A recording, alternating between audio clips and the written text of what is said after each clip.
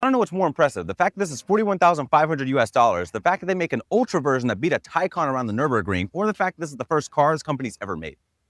Next up is scale.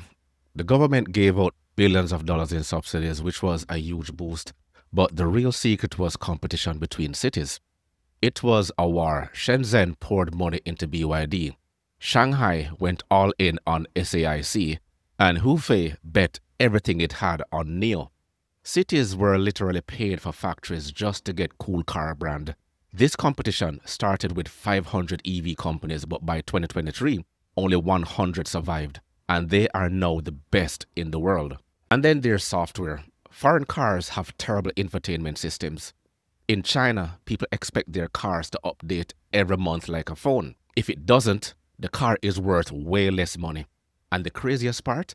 The batteries. In 2013, a battery cost around $700. Today, Chinese companies like CATL and BYD make them for under $70.